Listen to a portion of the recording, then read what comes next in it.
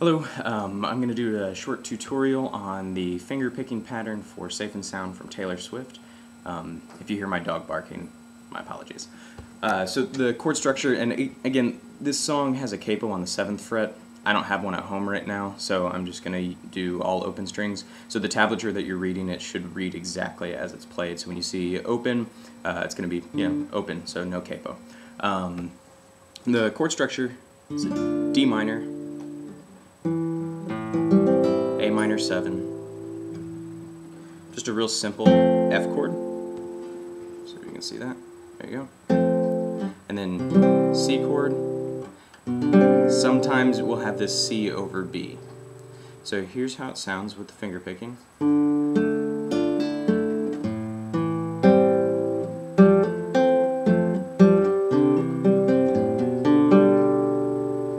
going to do each chord just one at a time. There's a D minor, A minor 7. So there we're only pressing down on the fourth string, second fret, and the second string, first fret. So we have an open third string. The next F chord is F, A, and C. Now it starts with the second finger open, so we still have that open G and you hammer on. So we're playing the fourth string, F, the third string, open G, and see how the second finger comes and hammers on onto the A, second fret of the third string. And then down here we've got the second string, first finger, first fret, which is a C. You kind of just work backwards there. We do the same thing on C chord. And if you can see, we're going fifth string and fourth string together. We're still doing the same hammering on. And then G, open, second string, first fret. And we'll get to the right hand in just a moment. So we play that. And then fifth string open, hammering on to the second fret, B. And then we've just got D and G open. A, B, D, G. So we've got D minor, A minor 7,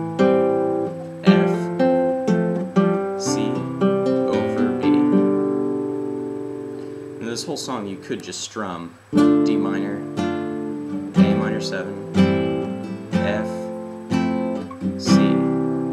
Just two strums each just to follow along. That's what I do whenever I sing along with it, uh, but for the beginning it always sounds cool to do the exact guitar part. Again, at the 7th fret with the capo. Um, the right hand stuff that we're going to do, I wish I could get this at the same time. Sorry I can't.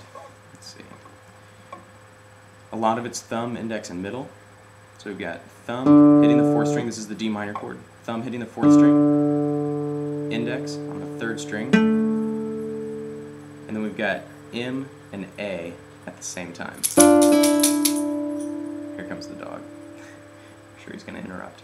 So D minor, thumb, index, middle, and ring, and that's where your first finger pulls off.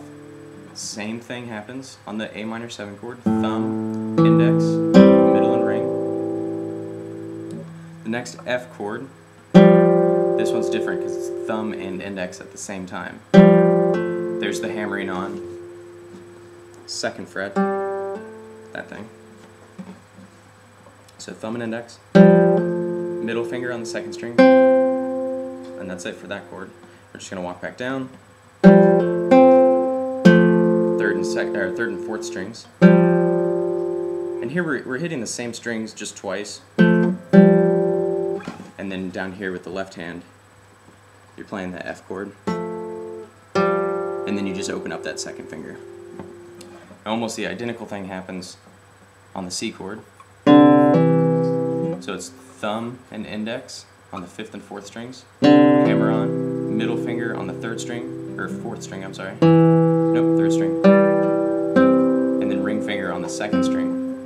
We've got thumb and index on the fifth and fourth, hammer on, middle finger, third string, ring finger, second string. And then you do the same thing. So we've got thumb on the fifth string, hammer on with the second finger.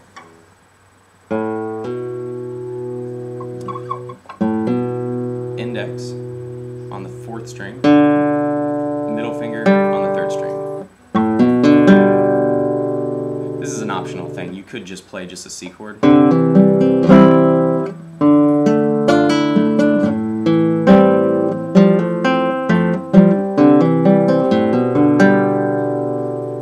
The second time through, it sounds like this in the song where you just you just play the C chord once. So here's the chord again.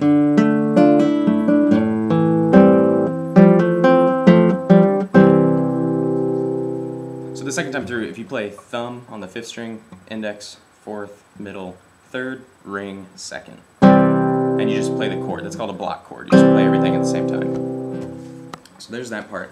Uh, when you get down to the to the chorus, it's just going to be uh, F chord, and then C, G.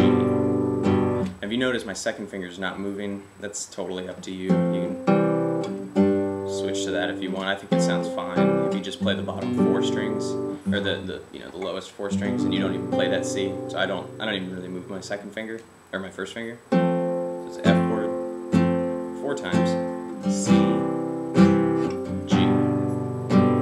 You do that twice.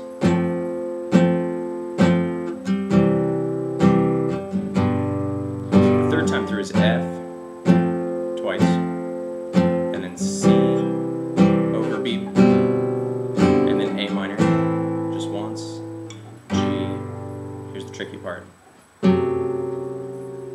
F sharp diminished.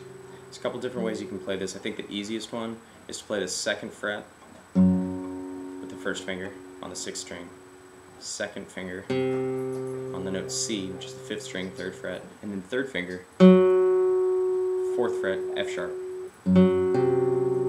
on the fourth string, third finger, fourth fret, fourth string. Uh, so it's just going diagonally down from the second fret, second fret, third fret, fourth fret.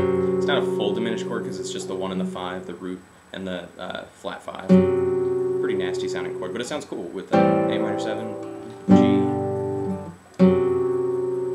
You let that ring out for four beats, and then you can start playing the, the verse again.